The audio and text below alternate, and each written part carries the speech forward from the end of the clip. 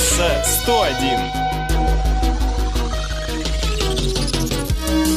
Приветствую, в эфире трасса 101. Владимир Сметанин не нарушает. Почти.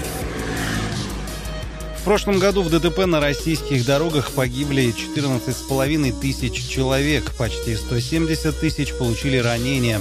По сравнению с 2019 показатели уменьшились почти на 15 и на 20% соответственно. Таких темпов снижения никогда не было.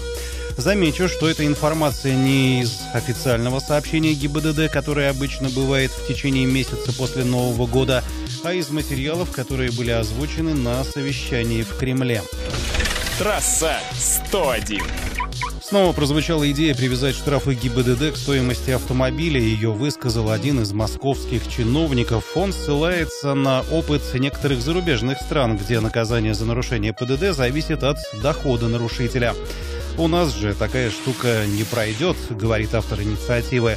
Зачастую лихачи официально нигде не работают, но владеют премиальным авто. Поэтому и надо ввести принцип, чем дороже машина, тем выше сумма взыскания. Трасса 101. Еще одна инициатива, высказанная одним из петербургских депутатов, касается запрета на работу в такси для трудовых мигрантов. Дескать, приходится сомневаться в их профессионализме и адекватности. К тому же заработок не могут найти многие местные водители.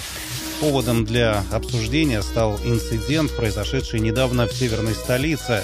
Таксист, выходец из бывшей союзной республики, мастурбировал в присутствии пассажирки.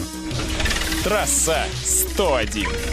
Был снегопад или сильный дождь, водитель пересек сплошную линию, а потом ему пришло письмо счастья. ГИБДД советует таким гражданам не ныть, в том числе в соцсетях, что была плохая видимость, а в течение 10 суток обжаловать штраф. Да-да, госавтоинспекция вовсе не против, что плохие погодные условия должны трактоваться в пользу водителей. Данная информация даже имеет форму специального указа. Трасса 101. Семиместная версия Hyundai Creta может получить другое название. Автомобильные издания упоминают слово «Алькасар». Так назывались древние дворцы-крепости в Испании и Португалии. Длина автомобиля увеличится не намного, всего на 3 сантиметра. В линейке моторов будут присутствовать полуторалитровый бензиновый атмосферник, 150-сильный турбодизель и бензиновый 140-сильный наддувный агрегат объемом 1,4. Сейчас Крета стоит минимум 1 миллион 97 тысяч рублей.